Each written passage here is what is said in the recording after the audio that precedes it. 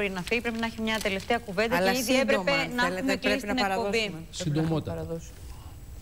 Νομίζω ότι στο τέλος θα βρεθεί μια, ένα συμβιβασμός. Κανένας δεν θέλει να κόψει το σκηνή, ούτε η Ευρωπαϊκή Ένωση, γιατί θα υπάρξουν και τεράστια. Δεν είναι μόνο οικονομικό το πρόβλημα, είναι και πάρα πολύ μεγάλο πολιτικό πρόβλημα. Άρα λοιπόν κάπως θα βαφτιστεί μια νέα συμφωνία και θα, και θα περάσει, θα, ψη- θα, θα συμφωνήσουν οι δύο πλευρές.